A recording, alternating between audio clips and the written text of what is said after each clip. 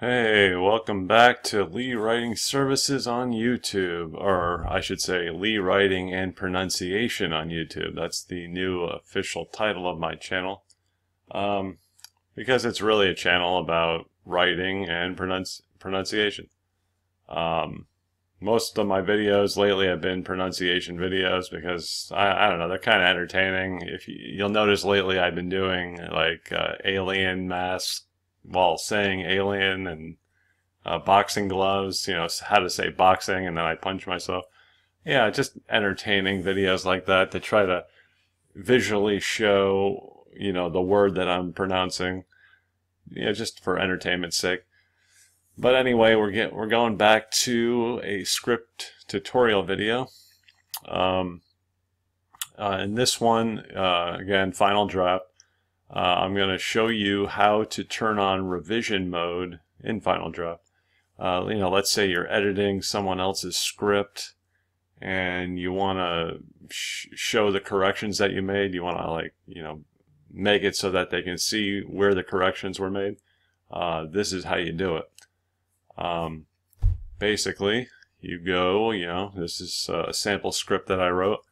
Uh, so you open up your script Final Draft is open, obviously. Uh, you go to Production tab, and then you just click Revision Mode, like that. And now, every time you make a change, let's say you type something new, like that, or delete and type something new, like that, uh, that's what happens. Now we want to change, we want to get rid of that underline. That's on for some reason. So to change how the new text looks, you know, the color, the underlining, uh, you would go to revision setup, uh, revision sets, and right here is where you can make those changes. Um, see, I want, I don't, I want to take away the underline, so take that off. Uh, maybe I want to change the color too, uh, so I would go purple. Uh, all this other stuff we can leave. And then hit OK, OK. And then look what happens. The underline is gone and now it's a new color. So let's change something else. Delete and then type it in again. Okay. And the asterisk over here uh, signifies that signifies the line that the change was made on. So if you if you need to quickly look for the line where the changes were made, you can just look over here Okay, asterisk is there, so oh, there and there. And then see, now it comes back again.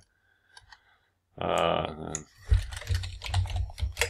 right, yeah, so anytime you delete something and then type something in new, it'll be a new color, and then the asterisk is there. Also, if you go back to that revision sets, you can change the revision mark. Uh, this is the default mark let's say you want to make it, um, let's the revision mark to be pound sign. Um,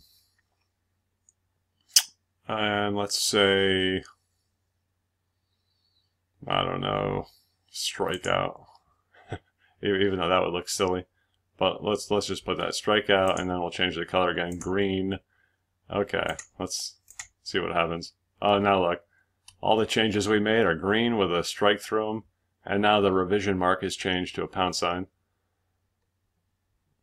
Alright.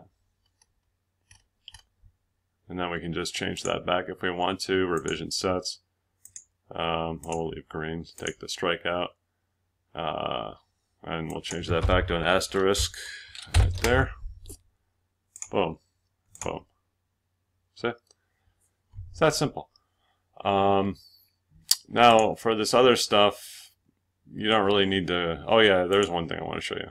Let's say you go to a new page, and you make another change. Watch what happens.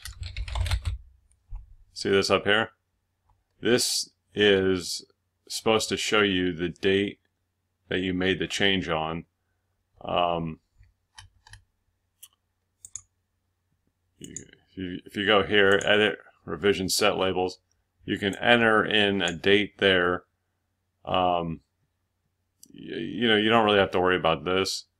The blue, the pink. Uh, that's just if you want to color code the labels. So let's just say 709 or 19. See, watch out. See? It's up to you whether or not you want to do that or not. Um, oh, shoot. Why did I click that? There you go.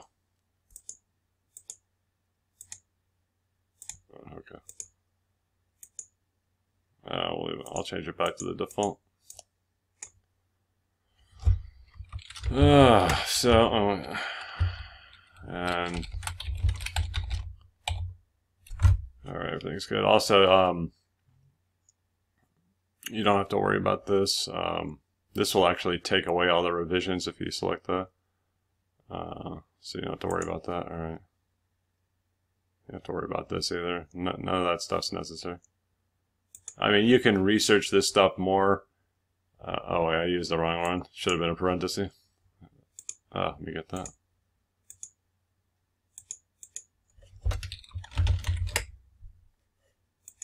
I mean, you can research all these extras to see what they do, but basically, if, if you're just trying to, you know, show the change that you made, just click that and then make the changes. It's, it's really not any more complicated than that. You don't have to make it more complicated than that.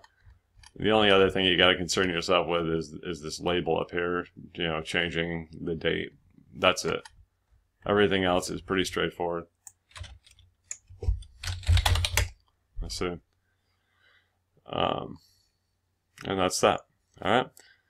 So, um, hope this video is helpful. Um, you know, I'm not an expert on the revision setup, but I do know the revision mode that you click this and make the change. And then if you want to change the color of the revision of the revised text, then you just go here. Or, and also you can add these to make it bold, let's say. And then all the changes become bold. Let's see. Yeah, see, now it's bold. Um, you know, it's that simple. All right. If you have a different version of Final Draft, uh, it should be pretty much the same. It might be a little different on the layout, but I'm sure you can figure it out just by watching this video. You know, just put the pieces together. Uh, production tab, revision mode. That's all there is. All right, subscribe. Later.